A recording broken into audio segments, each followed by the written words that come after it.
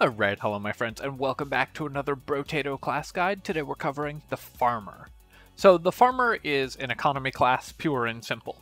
You get 20 harvesting, you get your harvesting increasing by an additional 3% every wave. That's an additive 3%, so it means 8% every wave rather than the normal 5%. You get plus 1 harvesting whenever you pick up a consumable, one of the fruits on the ground, or a crate while at maximum health, but like many economy classes, you get minus 50% materials from enemies. I think there's really only one sort of natural build for the farmer, although I will note that you could very easily play it as a character that just relied on harvesting and used spears or shotguns. That would be a totally reasonable build, but to really lean into the character's build options and the spirit of the character, we're going to go with the pruner. Pruner generates gardens, gardens generate consumables, consumables generate harvesting. What's not to love? On this character, the most important thing in these early waves, more than clearing the enemies efficiently, is to not take damage. Wow, that one dropped a uh, fruit for us, which is really good. We also want to make sure that we are actually picking up every fruit before the end of the wave, while not taking any damage, because then the amount of harvesting that we get is going to be increased more. Like that, that harvesting that we just gained during the wave will be increased additionally by the amount of harvesting we're increasing at the end of the wave. So it's really important to do that so we can start building up our harvesting values early. Let's in fact grab more harvesting. And then here I'm going to just re-roll this whole mess. We're looking for the pruner. Grab this again. Pruner also really good because it's a support weapon, so it, you guessed it, it increases your harvesting. I'm going to roll past the coffee and the duct tape, both of which we would take, but we really just want to find more pruners here, so I want to maximize that possibility. And here I will lock the broken mouth, because that's going to be particularly valuable for this character, and we can lock a pruner. Was hoping to find a fourth one of these, because that would enable our harvesting to grow even more, but three is not bad. Definitely want to make sure we're breaking trees.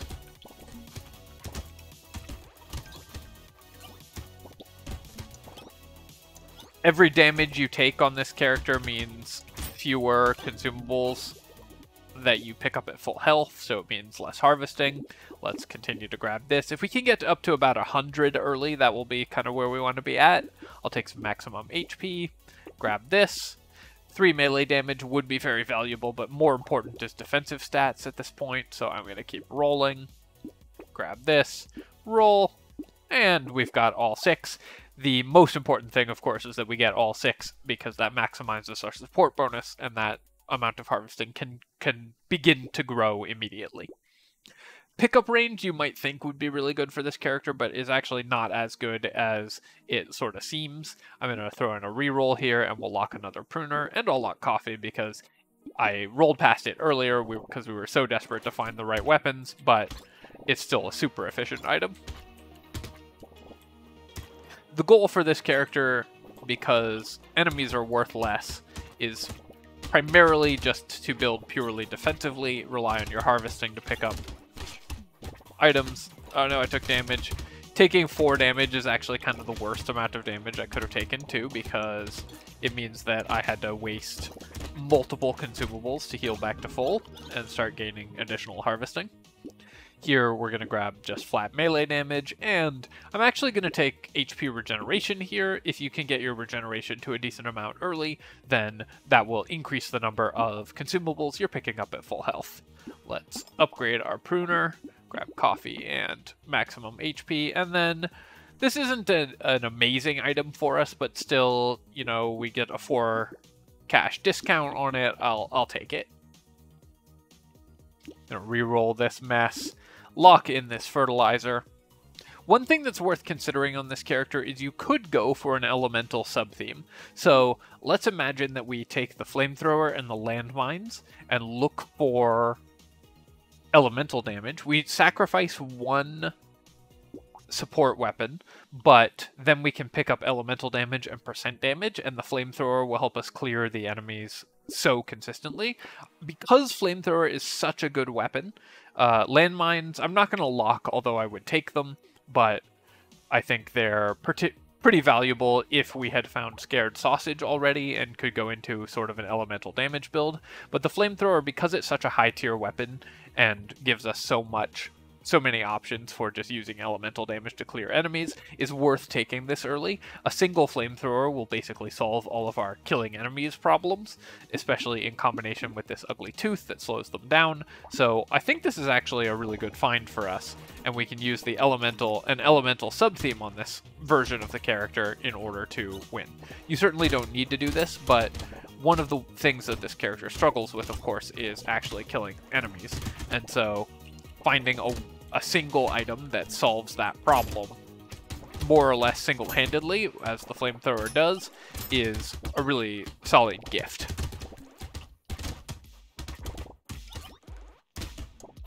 So now we can just build snake and fire weapons. Oh no, we didn't weren't able to break that tree but our harvesting is really good, and I'll take this elemental damage, and this elemental damage, and now the flamethrower actually does incredible damage for us.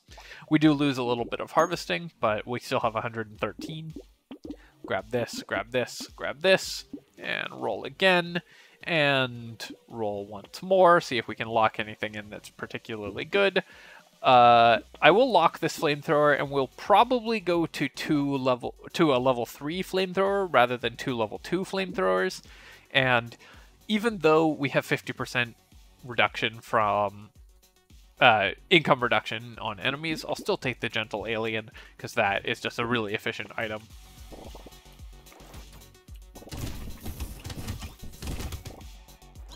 Flamethrower is so good because it just clears enemies all by itself. It's also really nice with lifesteal should we happen to pick any of that up.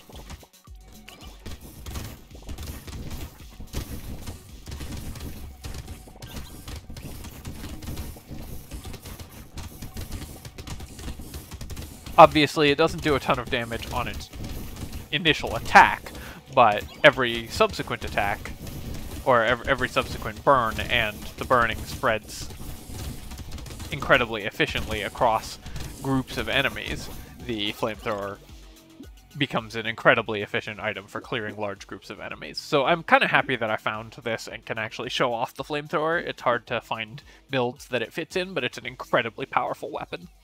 I'm just going to take 5% uh, damage here, and then I think I will just go to a level 3 flamethrower because we don't need to apply multiple burning to enemies, so we'll just upgrade this, and that increases the burning damage.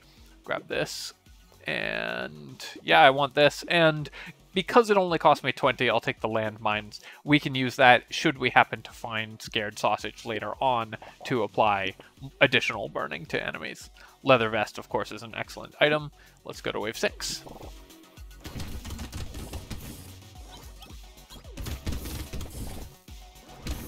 So now I'm looking for lifesteal because we have this very rapid fire weapon. I'm looking, of course, for elemental damage. We'll still take melee damage and so on, but...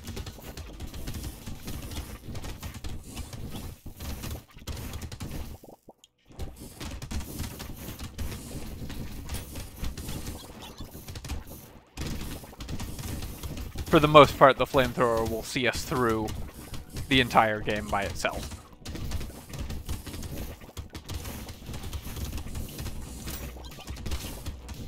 Tanked some damage there, unfortunately, so I missed out on a couple points of harvesting. Let me actually just take 9% speed. Now I don't need to take any more speed, and I'll grab this. I am to grab the plus damage and roll again. Um, crit chance and elemental damage, sure, I'll take that. We don't use ranged damage, but the elemental damage will be valuable. And here I'll take this bag. I'll lock the Pocket Factory as well because we are looking for Scared Sausage later on. So Pocket Factory can combo with that.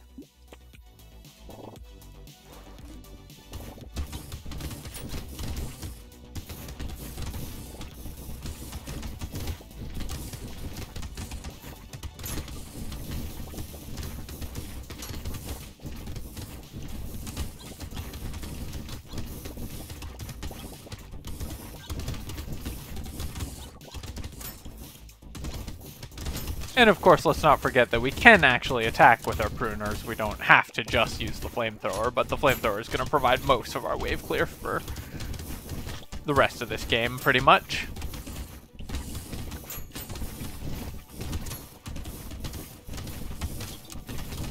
Took a lot of damage there. I would love some consumable healing. You might think we're not using consumables for healing, so they're not consumable healing would be less valuable. Great item to find, obviously. Um, but it's incredibly important on this character because as you pick up consumables, you really want them to get you back to full health, not to place you, uh, not to have to use multiple consumables, because every consumable you use to actually heal reduces your harvesting gained. This is a very difficult shop. I want all of these items. I'm going to take maximum HP, and then here I'm going to reroll, and I'll take 20 luck. We have no luck. A level 4 luck is really good.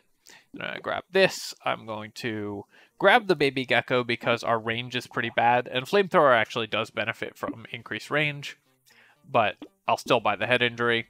Um, continue to buy some HP regen, although we also do want lifesteal. Maybe that was a mistake, actually. And then I'll buy this. Lock this, because our speed is really good, so armor is definitely the thing that we're missing the most of.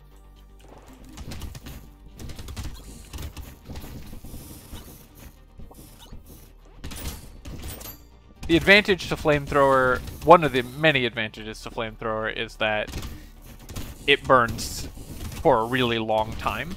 Like it's, uh, I think six instances of the burning effect. So you can set something on fire and then just run away immediately, and that's super powerful.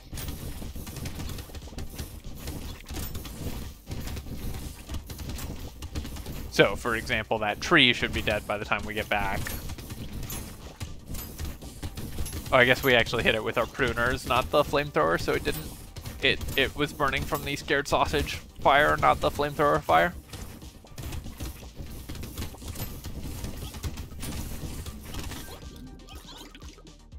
That 10 damage I took at the end was really bad. Uh, I'm going to re-roll this. Our harvesting is really good, and I really just want to find some more elemental damage. Let me roll this again. Yeah, we'll just take more elemental damage. And in fact, I am going to go to two flamethrowers here and only four pruners. This is not a normal farmer build, but it's the one in front of us, and I think it's a really good one, so I'm going to go for it.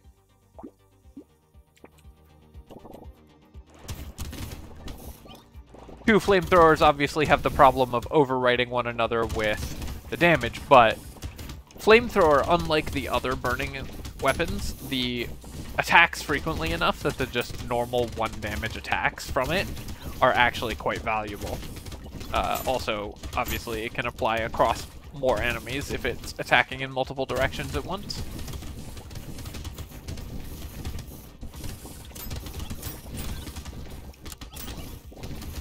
At this point, wave 9 or so, I like to stop focusing on picking up the consumables. I'm still going to do it when the option becomes available easily, but for the most part what we're doing is just trying to avoid taking damage, and we'll gain our harvesting at the end of the wave. I think you'll typically do better and gain more money if you focus on just avoiding getting hit rather than trying to maximize the number of consumables you're picking up during the wave. Take more elemental damage for sure, and more maximum HP. We'll take this and this, and Snake is obviously incredible. Crit Chance still doesn't do anything for us, so I'm going to roll past it. Lumberjack shirt alongside the Pocket Factory is great. Let's keep rolling. I don't really want this lifesteal in exchange for elemental damage, so I'm hoping to find some other way to gain lifesteal. 12 damage, sure, I'll take that and we still don't use ranged damage, so cute monkey, even though it's less effective on this character than on other characters because there are fewer materials on the ground, the whole point of this character is to be at full health all the time to maximize the amount of harvesting you're gaining from consumables. Whetstone is the perfect item, as is Shady Potion and Compass. Yep, all of these are incredible.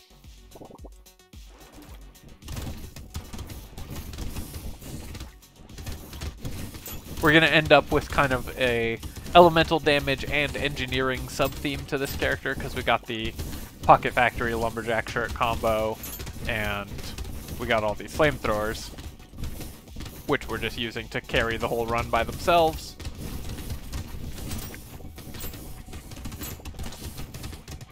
And something that's worth looking out for on these characters, especially the economy-focused characters that don't really need specific weapons to thrive, is how can I make, how can I integrate the types of items that I might be finding into my builds.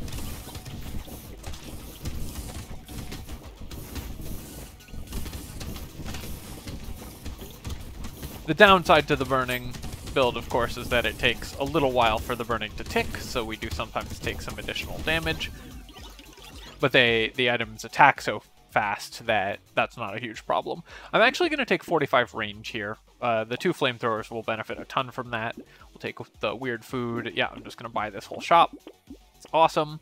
And wow, we get to upgrade our pruners quite a bit here. So let's grab that and combine and I'll get the level 1 and lock the level 3.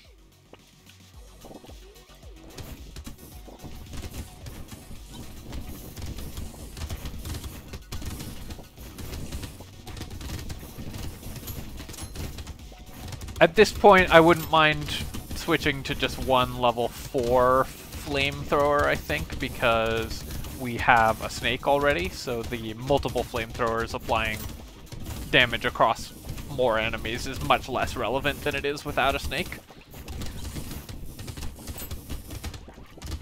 There's some argument for wanting two flamethrowers before you have snake, but after you have snake, I think you just always want one.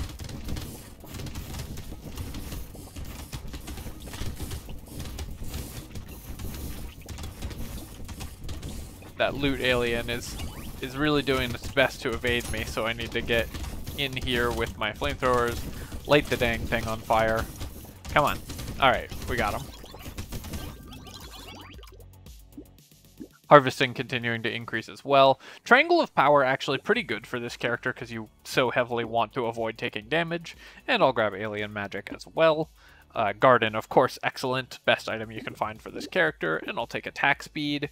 Here, I could start building dodge yeah, 12 dodge gets us a third of the way to dodge cap, which is pretty nice.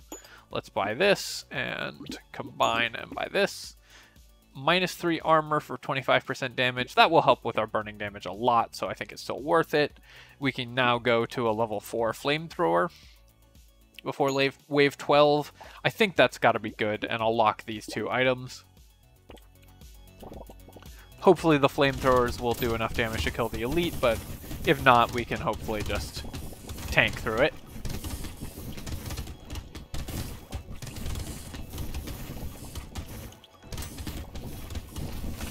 Just trying to make sure the elite is always on fire, but stay away from it enough that I'm not in danger of dying.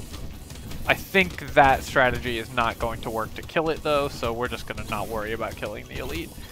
The flamethrower build gave me some hope that, hey, maybe we can kill the elite, but typically on Farmer, you're not going to kill elites that you see, so I'm not too worried about missing out on this one. On most economy characters, it's really difficult to actually clear elites.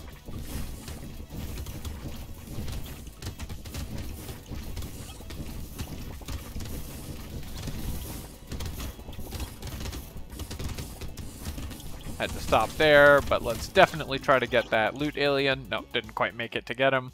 Uh, I'll take some more attack speed, because why not? We'll take this and this, and roll again. Take this metal, and more alien magic for sure. The plus one engineering, we do have two landmines and a bunch of other stuff already. I think I'll actually spend 29 on this engineering basically we could re-roll and try to lock something, or we could just wait for the shop to turn over and give us the free re-roll. We might save a little money on locking stuff, but I don't think we would save 29. Like, the likelihood of locking enough stuff to save that much money, I think is pretty low. So, just spending that money on the free one engineering is better than re-rolling and then locking, I think.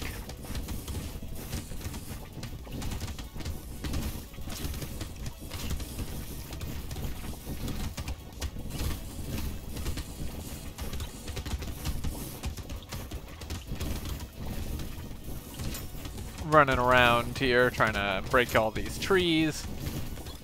Of course, every tree I, I break can set more enemies on fire.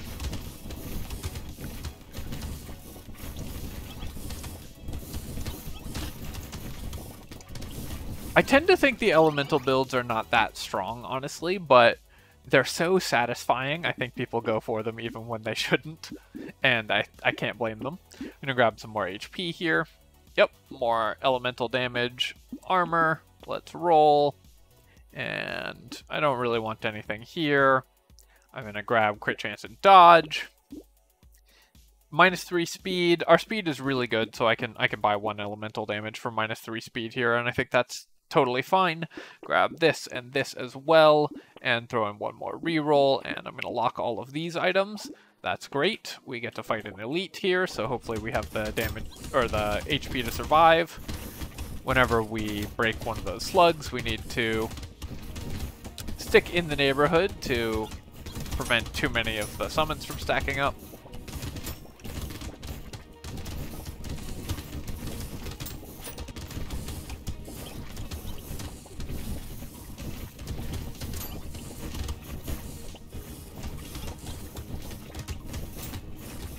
As always, we want to be cognizant of trying to step on the consumables if it's easy to do without compromising our character in any way. Um, if it if it's going to cause us problems, then we just avoid them. Th then we don't prioritize that. It's much more important that we don't take damage, especially because we have Triangle of Power. Then that we pick up every consumable. Here I'm going to probably just grab more attack speed. We'll upgrade our pruner. Buy this whole shop. Roll again. Baby with a beard would be cool if we had ranged damage, but we're using elemental damage. On the other hand, especially for this build, but in general for the farmer, I think Candle is actually worth considering on only this character, basically, because we get all of our money from harvesting. We don't need enemies on the field, so reducing the number of enemy spawns is actually an advantage for this character, unlike every other character in the game. We do have a couple baby with the beard items because uh, even, you know, increase or gentle alien items because increasing enemy spawns is still fine, like it's still good for this character, but um, this is one of the few characters it's worth considering Candle on. And especially because we are building elemental damage, I'm going to buy it, and because we don't get to buy it that often. Tree is really good when we're going for the Pocket Factory Lumberjack shirt combo. Grab this as well. Burning activates faster, incredibly important for burning builds, so that's great. I don't go elemental builds that often, so I'm hoping I didn't just automatic, like on autopilot, skip past some of those previously.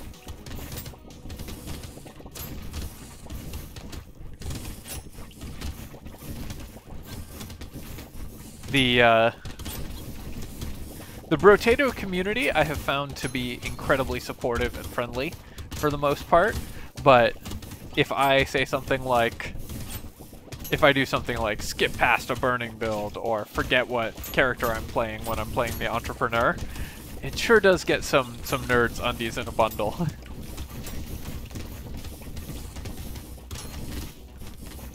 On the other hand, don't worry, this is nothing compared to my origins in the deep in the pits of League of Legends, so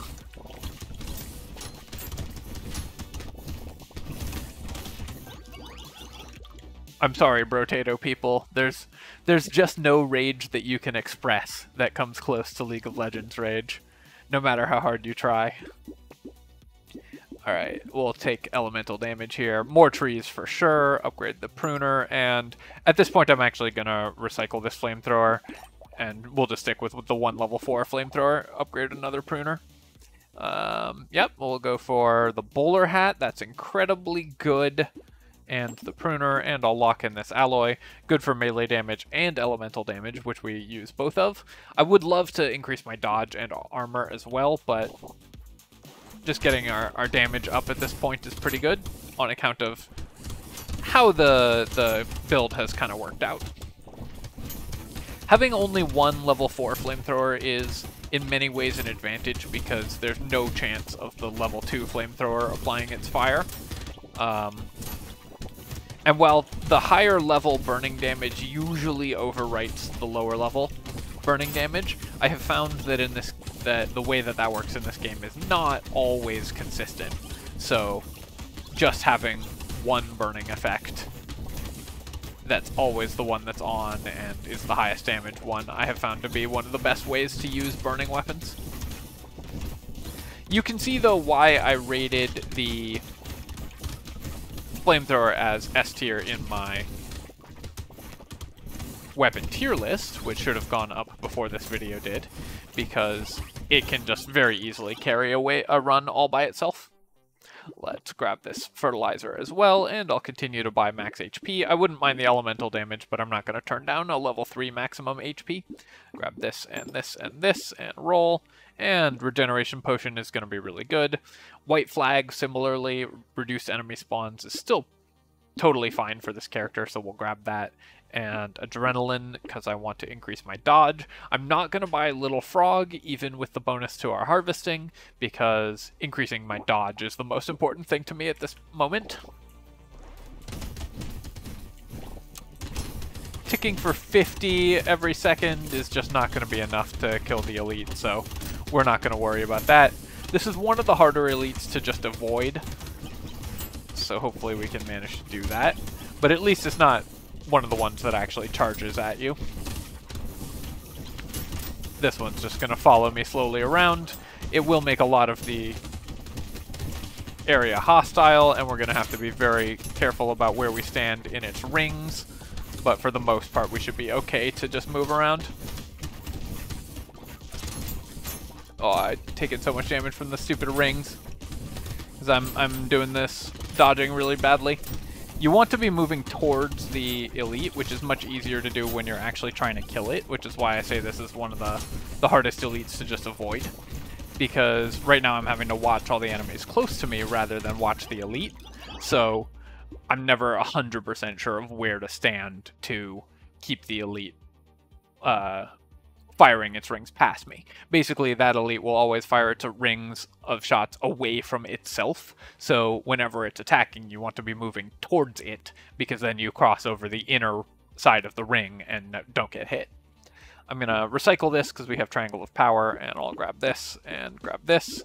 And here I'll take uh, just some more maximum HP so we don't die everyone, I hope, is very proud of me for remembering not to take a damage per second item when we have Triangle of Power. That has been a problem in the past. I, am going to boost my lifesteal as well, because we still do have this flamethrower that attacks so frequently, it can be a significant source of healing. Burning Eye Surgery is incredible, obviously. Multiples of those is even better. Sure, I'll level up my pruner to level 4. Do I want four, five max HP for minus 15 range? I mean, we do still use the melee damage, so I'm gonna grab that. And then, yep, another tree. Vigilante Ring, unfortunately, will not have time to pay off, but Snake, on the other hand, will be really good. So let's grab that. Looking for primarily defensive stats at this point.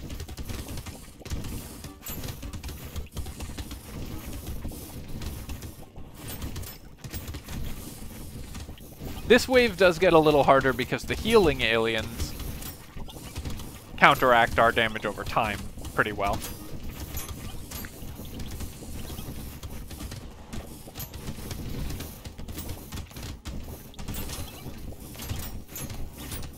On the other hand, our harvesting is insane. So, you know, we can't complain too much.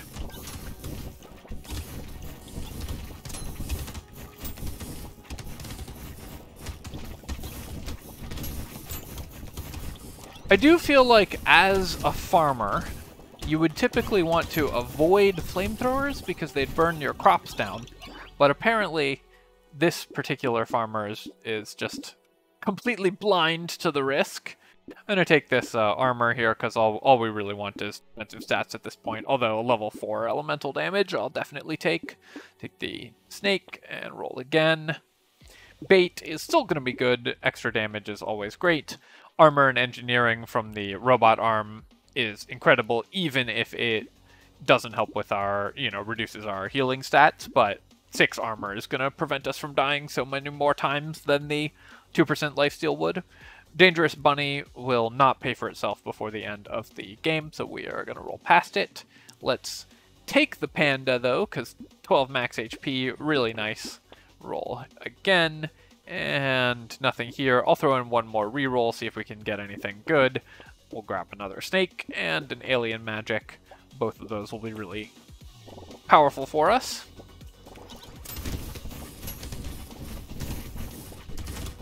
Our flamethrower is now actually doing four damage crits on its normal attack. So still not somehow not impressing on its normal attack, but the burning damage is so effective. And we, because we have two eye surgeries, the uh, the burning damage ticks so much faster that it's actually a decent defensive ability.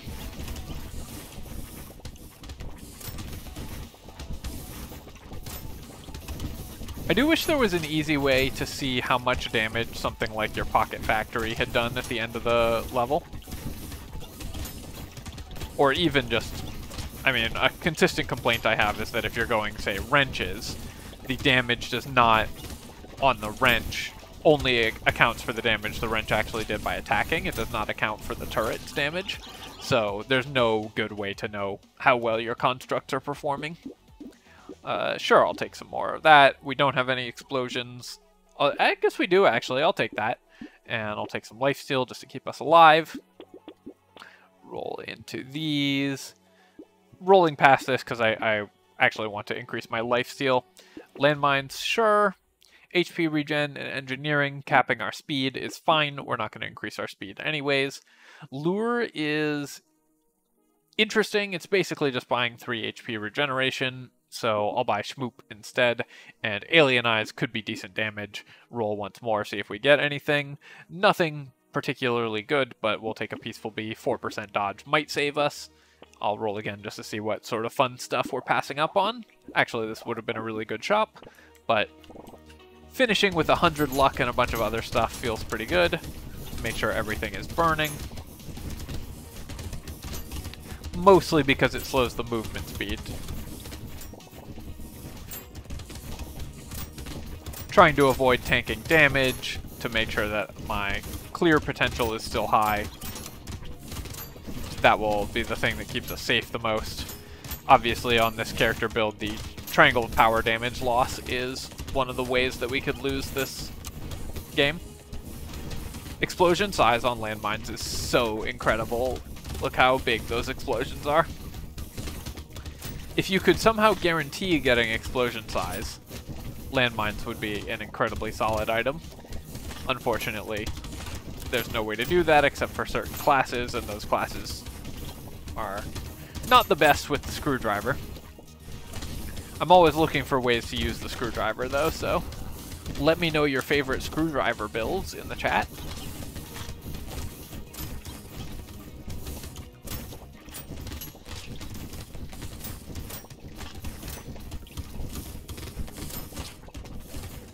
14 seconds remaining. Setting everything on fire.